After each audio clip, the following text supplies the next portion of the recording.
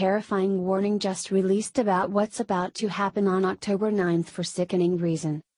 America hasn't even come close to recovering from the Sunday night attack in Las Vegas, which left 50 dead and over 500 wounded, as a lot of questions still remain unanswered about why this happened. With this gaping wound still wide open and citizens feeling vulnerable and unsafe, we're now being warned to brace ourselves for more hell that's coming on October 9. Authorities are saying that they have received credible information of what is promised to take place in just a few days from now, which could have devastating effects on the entire nation. This exact day was picked for the plan for a very specific and sickening reason. In the distraction of the aftermath of the country's most deadly mass shooting in modern history, it looks like we haven't experienced the worst yet of what's to come.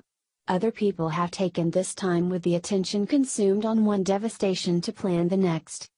While America is weakened at the moment as people mourn the senseless loss of life, those who want to see our nation fail are seizing this time as an opportunity.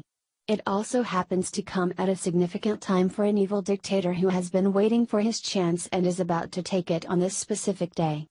North Korea's Kim Jong un doesn't seem too happy that he hasn't been getting attention and is now commanding it with what he's bringing on America.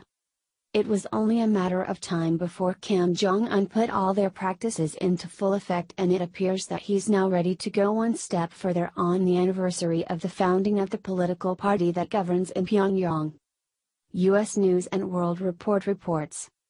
A top CIA official for the Korean Peninsula warned Wednesday that the U.S. should be ready for a new provocation by North Korea on Columbus Day on October 9, which coincides with the anniversary of the founding of the political party that governs in Pyongyang.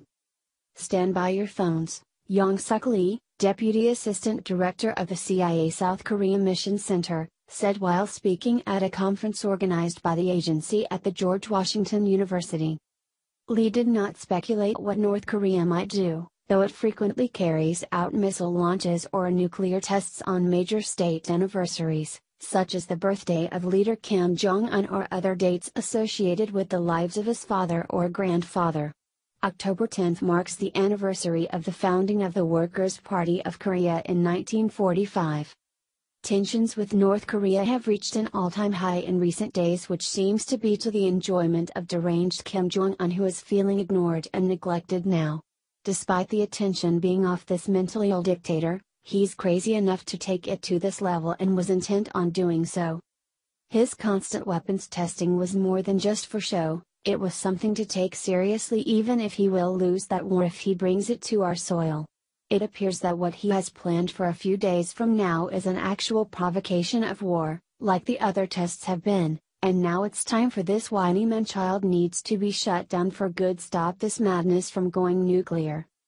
Tensions with North Korea have reached new extremes in recent weeks, following months of increased weapons tests combined with new U.S. appraisals that Pyongyang is close to perfecting or perhaps already has made an intercontinental ballistic missile that can carry a nuclear warhead and hit targets accurately, U.S. News explained. Lee added that Pyongyang historically has been controlled by its fear of the Chinese abandoning its support for the Hermit Kingdom, or that the U.S. would carry out a military strike.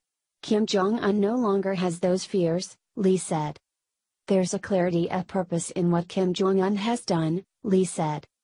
Despite all the rhetoric from North Korea and their weapons testing, Lee believes that the likelihood of the country intentionally starting a war with America or any of our allies remains relatively low. The last person who wants conflict on the peninsula is actually Kim Jong un, Lee said, adding that Kim, like all authoritarian leaders, wishes to rule for a long time and die in his own bed. We have a tendency in this country and elsewhere to underestimate the conservatism that runs in these authoritarian regimes, U.S. News reported. However, that shouldn't stop President Donald Trump from responding to Kim Jong un's taunting with a show of force to shut him up. This tug of war has been going on for too long and the game needs to end. Perhaps the president will do just that diplomatically when he visits South Korea, Japan, and China on his upcoming trip to Asia in November that will be his first since taking office. Office